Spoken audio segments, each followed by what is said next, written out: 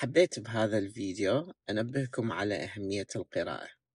طبعا هو مو فيديو كلاسيكي بقدر ما هو تنبيه على نقطة مهمة.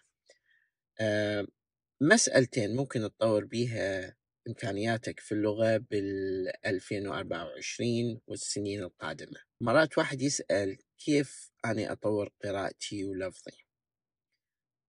أكو أكثر من طريقة. واحدة من الطرق المهمة أنه أنت تلزم نفسك بقراءة كتاب بصوتك. يعني أنت يوميا تسجل فصل من هذا الكتاب بصوتك.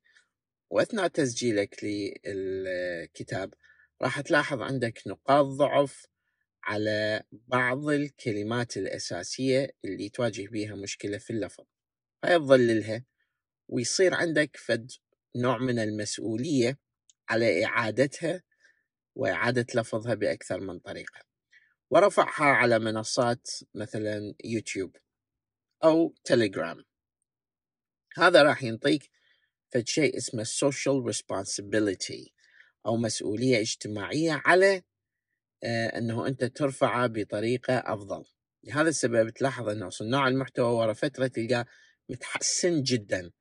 متحسن جدا لعدة أسباب. أهمها حقيقة أنه يتلقى هواية من النقد آه ويصير عنده نسبة indifference أقل تجاهل أقل للمحيط ويكون conscious أكثر واعي أكثر على نقاط ضعفه. يعني أنا عندي نقاط ضعف كثيرة في اللغة حالي حال أي متدرب آه ومتعلم للغة. وإحنا آه دائما نقول التعلم هو رحلة حياة هو سيرة حياة.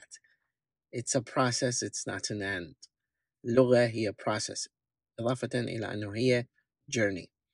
فلهذا السبب مسألة إدراكك لنقاط ضعفك راح يساعدك في ردم الفجوة وجسر هذه الفجوة بينك وبين تقاربك مع اللغة بطريقة أفضل. القراءة حسب الدراسات العلمية كل دماغ طبعا هو مختلف. فأنت من تقرأ شيء هذا الشيء اللي أنت تقرأه راح يروح إلى مؤخرة الدماغ. بعدين في آه بالنسبة للشخص البالغ القارئ العملية هاي كلها تأخذ أقل من نصف ثانية ترسل إلى جهة الدماغ اليسار وفي جهة يعني المناطق المسؤولة يعني ال lateral lobes الخاصة بالدماغ المناطق الجانبية من الدماغ و frontal lobe والأجزاء الأمامية من الدماغ تعالج حسب ال fMRI تعالج هذه الصورة اللي شافتها بالنص. فالقراءة كيف ممكن تساعد الشخص على تطوير مهاراته وصحته؟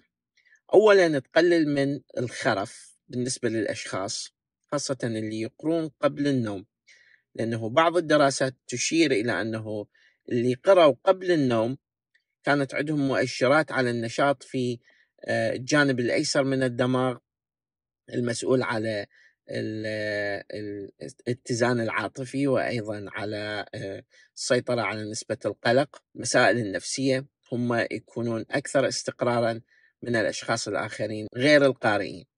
ثانيا موضوع دمنشا إحنا دائما نتذكر نحكي به اللي هو الخرف موضوع بعض الأشخاص يصابون به في فترات متأخرة من حياتهم في حين القراء لا يصابون به خاصة الأشخاص اللي يتحدثون أكثر من لغة اللي إحنا نسميهم bilingual people. طبعا عملية القراءة والتعرف على الأشكال المكتوبة بالدماغ عملية معقدة جدا ولحد الآن الأبحاث مدى تقيس بطريقة مضبوطة من عقل لعقل تعرفون أكو اختلافات.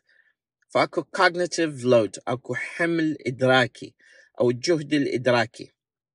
عند الشخص كل ما زاد من خلال القراءة كل ما زادت إمكانيته على الوعي أكثر على تقليل القلق أكثر لأنه بعض الدراسات تشير أنه القراءة تقلل من التوتر والإجهاد العصبي اللي يصير عند الشخص. فهذه ممكن أن تؤخذ بطريقة علمية على أنه أنت تحمل نفسك مسؤولية اجتماعية على آه، تدريب نفسك ووضعها أمام الملأ بالنسبة لصناع المحتوى المقبلين على صناعة محتوى. ثانيا آه، قضية القراءة قضية لازم تكون مستدامة. بعض الأحيان تكون تعبان لكن لا ضير في أنه أنت تقرأ مقال قصير أو تسمع بودكاست أو مراجعة لكتاب. هذه كلها عناصر ممكن تفيدكم في مجال تطوير إمكانياتكم والسعي نحو نسخة أفضل من عندك. إحنا دائما نقول إحنا ما نقدر نصب نظام تشغيلي جديد لكن ممكن نحدث النظام مالتنا حتى يواكب ونكون دائما في رأس الهرم بالنسبة للإمكانيات العقلية مالتنا. ربي يحفظ